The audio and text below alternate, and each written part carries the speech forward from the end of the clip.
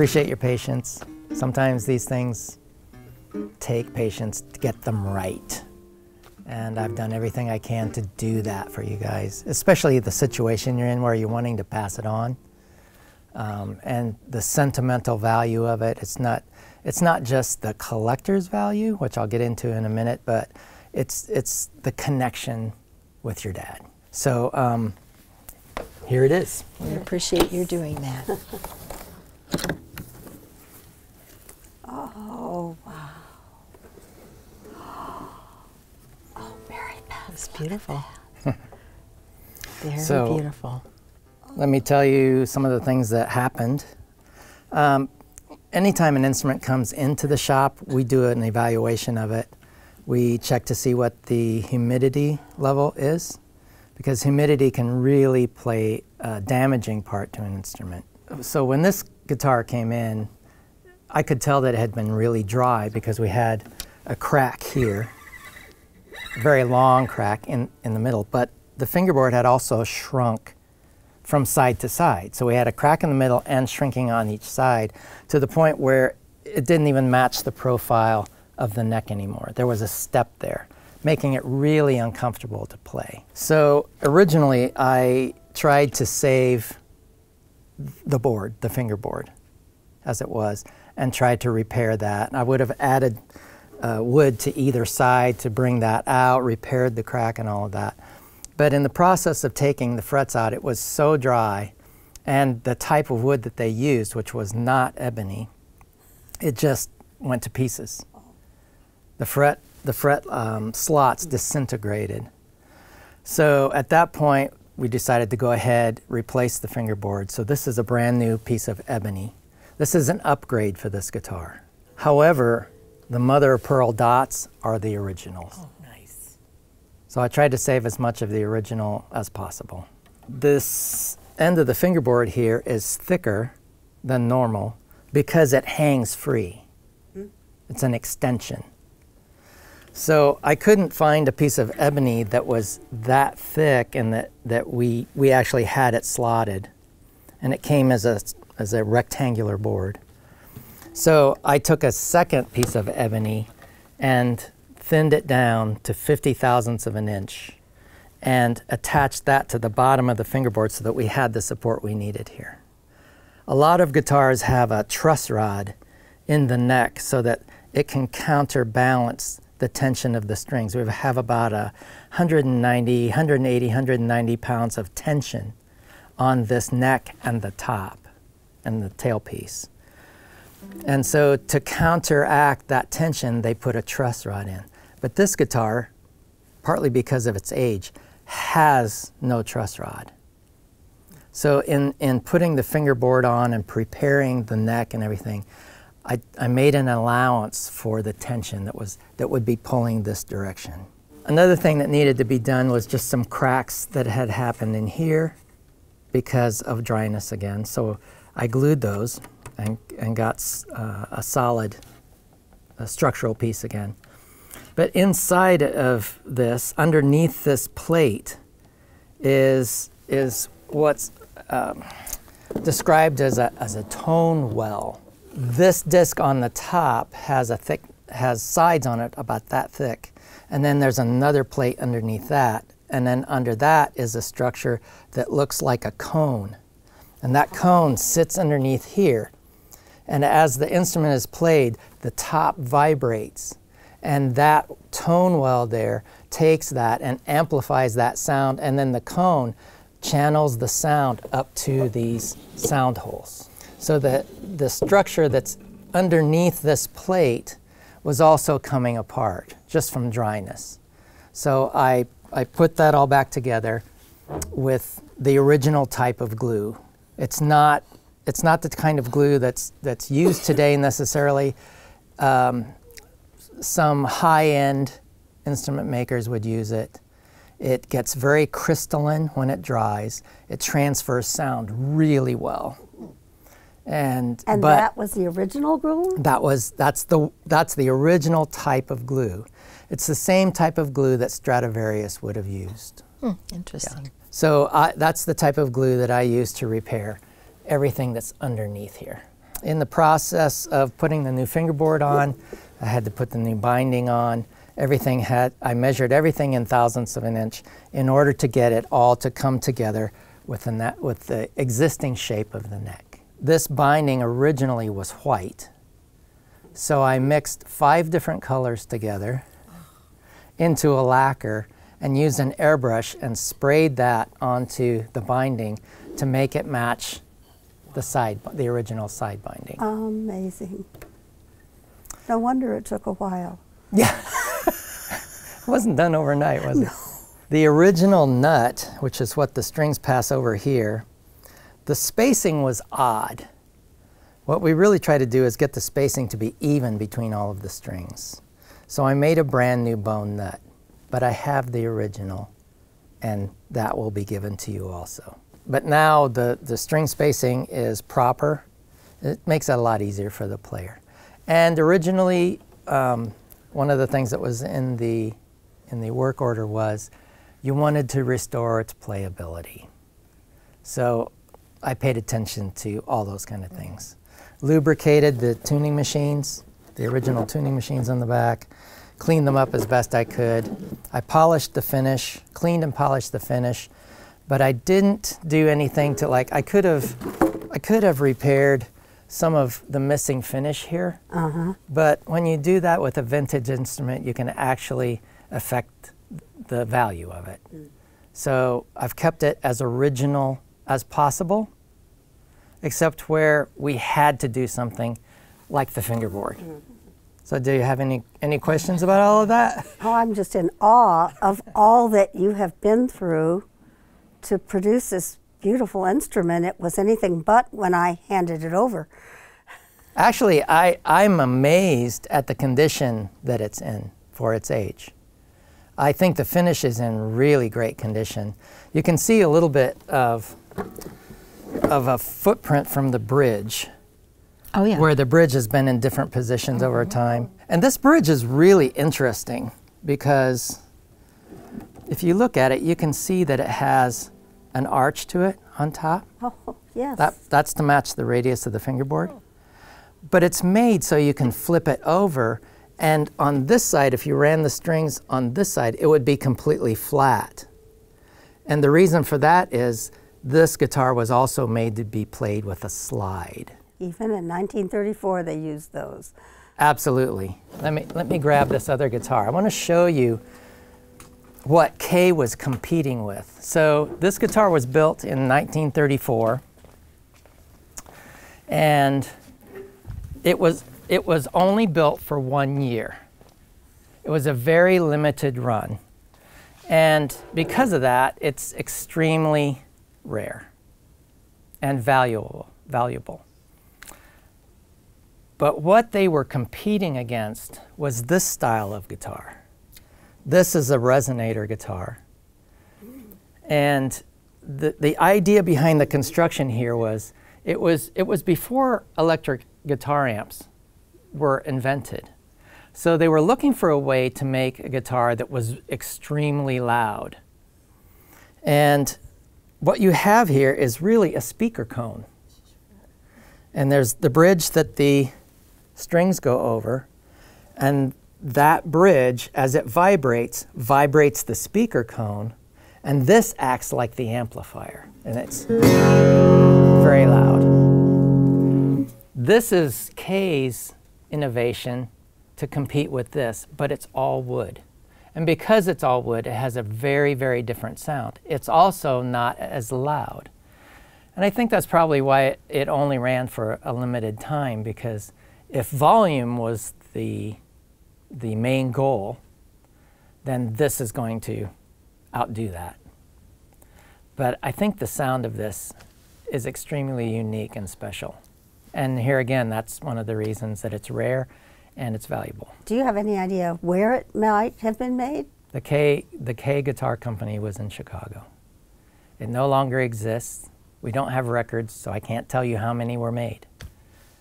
but from research, I do know it was only made in 1934. You were asking about what the guitar is made of? Yes, the wood. The top is made out of spruce, and some of it is laminated. It's three ply. This is. I believe this is probably solid spruce, and it's been carved into this shape. Not pressed, not heated, but carved into that shape. Inside, um, it was really common in those days, especially at an instrument in this price range, to make the necks out of poplar. Um, the finger, original fingerboard was a kind of fruit wood, and um, they would treat it chemically to make it black so that it looked like ebony. But part of what happened during that treatment was it made the wood really brittle hmm. and really dried it out. So these frets are T-shaped. They have a, a toothed tang that go down in a 22 thousandths wide slot. And when you pull those out with the teeth on it, it tends to want to chip ah. the fingerboard. Um, so I actually tried driving the frets out sideways, and that was successful much of the time, but it only takes one that's not successful to do, to do a lot of damage. So, so it just became a, a point where it's just time to replace the fingerboard. There's, there's something about resurrecting the dead. Mm-hmm. That's basically what you've done. Yes, it is. I wouldn't say it was completely dead, but. and we wish we knew a little bit more about it. I, I've played just a little bit, but more chords and uh-huh. nothing fancy. And um, uh, we we're pretty sure it came from when my dad was raised on a farm in Knightstown. And when they were selling the farmhouse, my dad went down and brought it back home and it's been at my house ever since. Okay. So um, protected, hopefully, other than the humidity you said. But I think Barb's got a good story to tell that we do know about this guitar. Here's what we know, and my dad didn't tell too many tales, but this one we knew about. In 1934 35, he would have been 13, 14 years old, and on one of those two birthdays, his mother gifted him with this beauty. Uh, Hazel was pretty much self taught, his mother, and she was bound and determined with her two boys that they would be educated, and a part of an education had to be music. And so here it came, and it had a little book in it of songs, and he was pretty well self taught as well. However, she had one request of him, and that was that he perform a specific song for a specific group of her friends. Well, Knightstown, Indiana is a very, very conservative rural community. And my grandmother and grandfather belonged to the United Methodist Church in town. The farm, of course, was out a ways. And she belonged to a group there called the WCTU, which stands for the Women's Christian Temperance Union. Ah.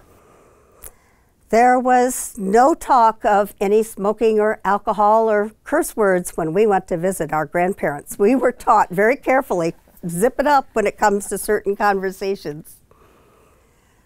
But here he is, and she said, Lloyd, learn how to play Amazing Grace for my friends at the meeting in the church basement. He practiced and practiced and got it down really well. So he played Amazing Grace.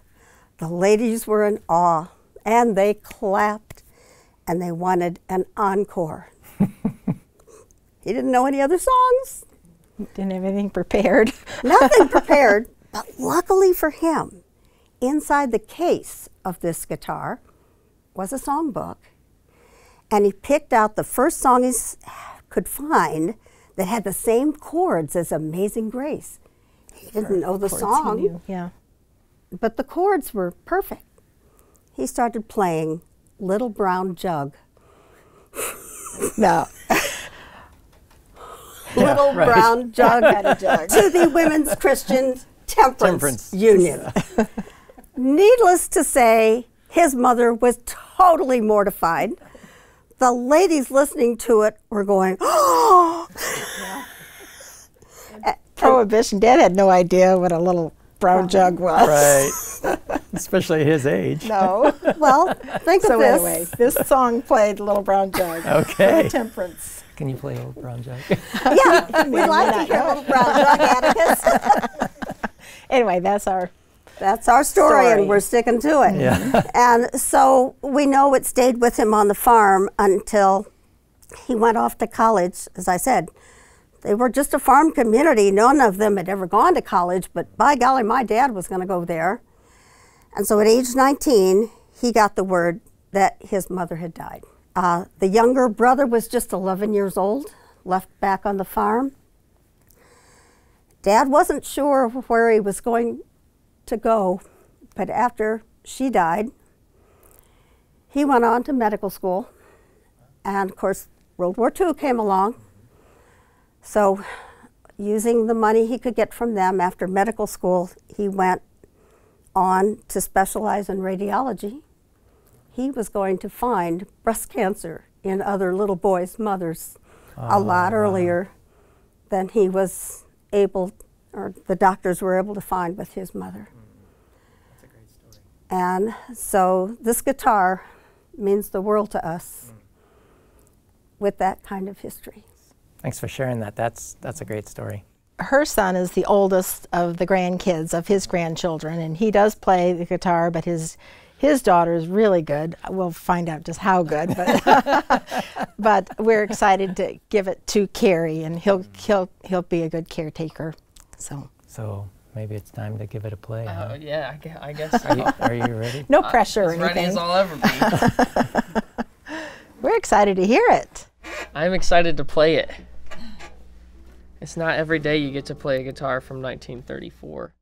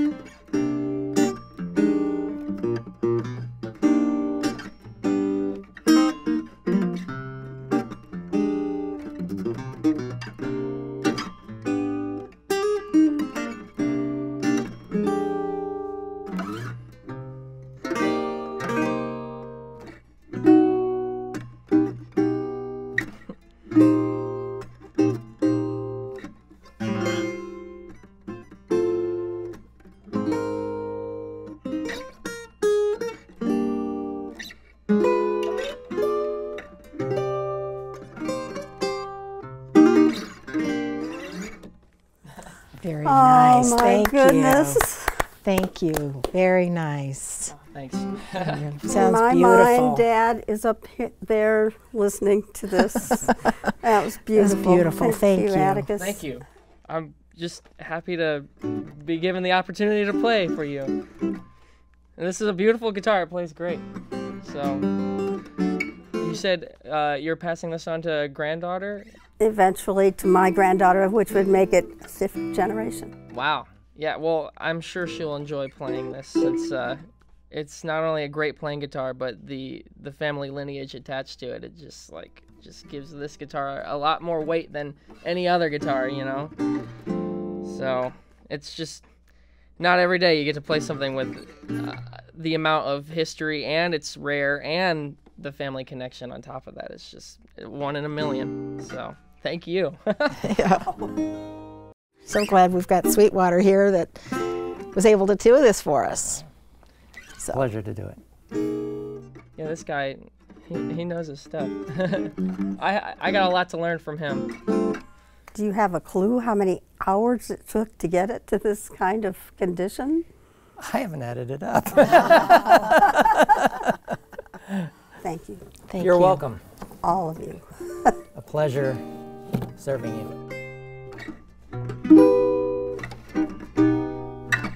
you.